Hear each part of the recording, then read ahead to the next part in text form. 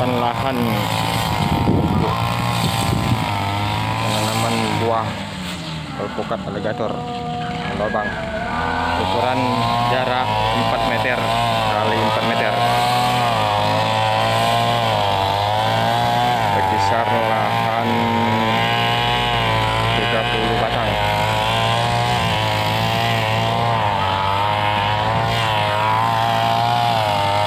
Semoga sukses